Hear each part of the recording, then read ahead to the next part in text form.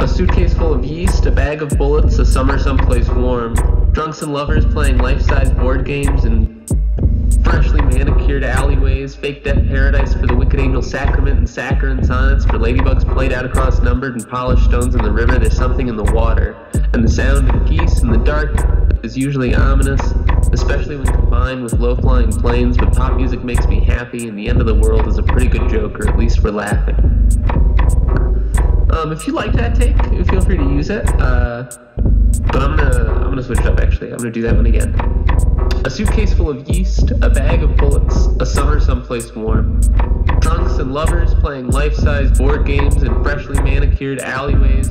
Fake death paradise for the wicked angel saccharine.